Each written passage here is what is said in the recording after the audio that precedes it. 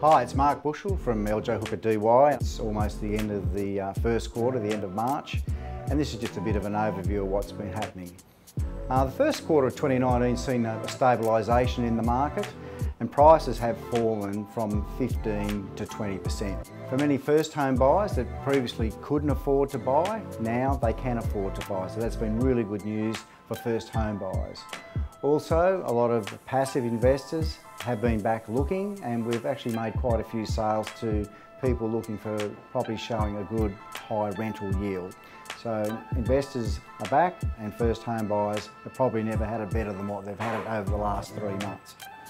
Now for a lot of people, especially the baby boomers who have been you know, looking and waiting to sell, if you buy and sell on the same market, i.e. Um, March 2019, Yes, you will get less than you would have two years ago, but there's a lot more choice in the market.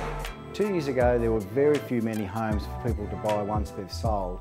Now, there's a lot more choice. Now, we have got the state election and also a federal election very close together this year, which is highly unusual. Now, if you are thinking of selling in 2019, don't wait till spring. A lot of people wait till spring and you're competing with a lot more other properties for sale. You may well be better off to list your property during the election period and avoid the spring period altogether. Have we hit the bottom yet? The big question everyone's asking. Well, no one ever really knows that question until the market starts going back up again.